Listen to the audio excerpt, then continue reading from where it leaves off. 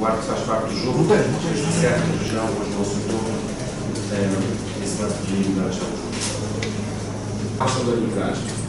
É, eu ainda não vi os lances em televisão. Também não vi o lance do nosso do gol que foi anulado. Eu não estou, não sei se há fora de jogo, eu acredito perfeitamente que sim, não tenho nem sequer é, contestaram. É, eu percebi, é natural que tenha havido toque, eu não vi a televisão. É, o que eu entendi é que o árbitro deve ter considerado que não havia, não havia intensidade é, para isso. Não sei. É, não é a mim que devem procurar perguntar isso.